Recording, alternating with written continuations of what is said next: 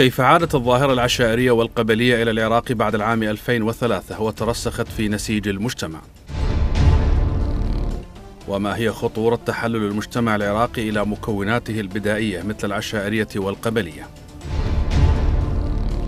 وهل فعلا باتت الظاهرة العشائرية والقبلية تزاحم مركزية الدولة وصارت هي البديل عن سلطتها الهشة في العراق؟ هذا ما سنبحثه في الحلقة القادمة من برنامج طاولة حوار.